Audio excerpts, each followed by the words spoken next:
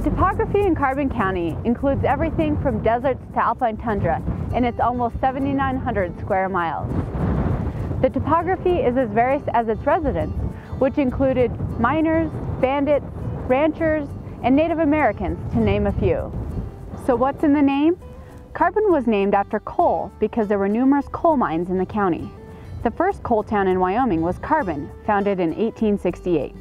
Carbon County has always been a hotbed for energy production with coal, copper, uranium, natural gas, wind, and a refinery.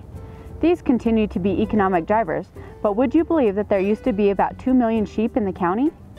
Carbon County, created in 1868, was one of the five original counties of the Wyoming Territory. Like the others, it stretched all the way from Colorado to Montana. The modern-day counties of Sheridan, Johnson, and Natrona were carved from this original county. Carbon County has the most incorporated towns in the state. The 10 towns are Rawlins, which is the county seat, Baggs, Dixon, Elk Mountain, Encampment, Hanna, Medicine Bow, Riverside, Sinclair, and Saratoga. If you're in Wyoming for long, you can't help but travel through Carbon County.